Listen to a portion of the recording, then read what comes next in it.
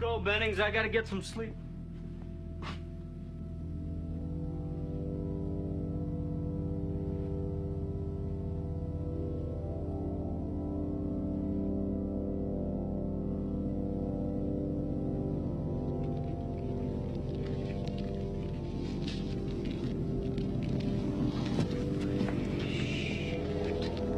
It's clobbering time.